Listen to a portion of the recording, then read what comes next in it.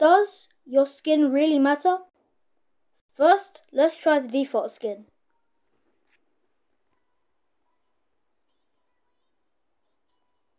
Okay.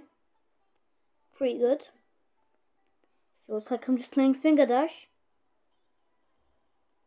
Nothing seems off. Okay.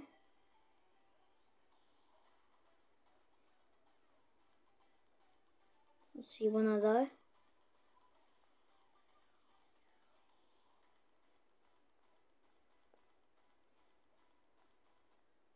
Okay, I died at 34%.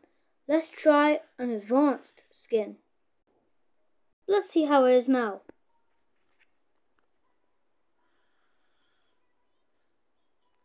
Well, this feels a lot nicer. I don't know why, but it just does. Oh, that was close.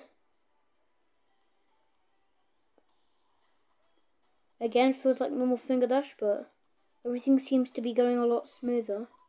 I like the way um the spikes are blue this time, matching my skin.